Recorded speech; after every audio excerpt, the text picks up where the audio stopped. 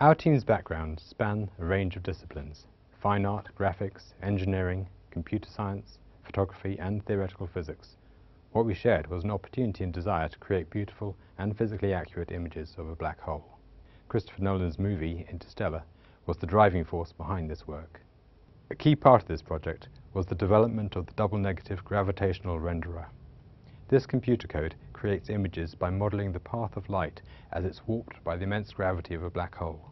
The light originates either at distant stars or from an accretion disk, a hot glowing disk of gas orbiting the black hole.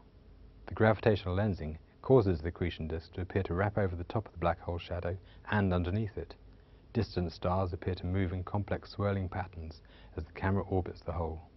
Sometimes images of stars get amplified in brightness, split into double images, or a pair of images merge and annihilate in a flash of light. These effects combine to create the iconic images of the black hole seen in the movie.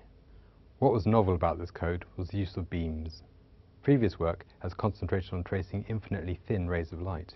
Instead, we consider small bundles of rays and solve the equations that describe how their cross-section gets stretched and squashed as the beam propagates through warped space-time.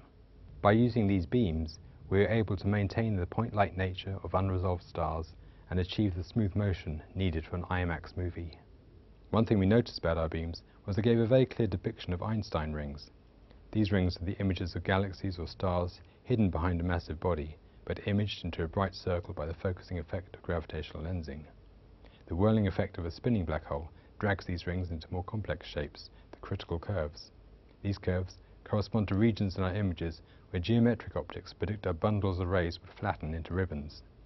Using our code, we are able to map these curves and their corresponding caustic surfaces, something that hasn't previously been done for the case of an observer close to a fast-spinning black hole. By relating these curves back to the movies we created, we were able to gain a deeper understanding of the swirling images we'd seen. Our paper, Gravitational Lensing by Spinning Black Holes in Astrophysics and in the movie Interstellar, describes this work in detail. The work may have other applications in astrophysics. Calculating the pulse profiles from spinning neutron stars has been suggested. When Interstellar opened, people were excited that real science was used to create its images. We're now really pleased that in this paper, science fiction is able to give something back to the scientific community.